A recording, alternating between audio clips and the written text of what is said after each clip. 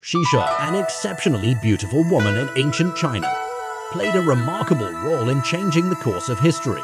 She was one of the most admired women, known as the Four Great Beauties in ancient China.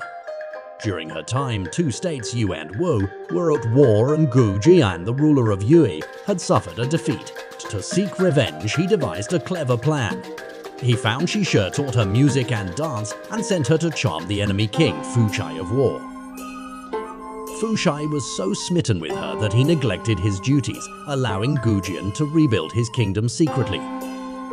When the moment was right, Goujian struck back, defeating Wu and becoming a powerful ruler. Xi Shi's stunning beauty was the key to this historical transformation, and her legend endures to this day.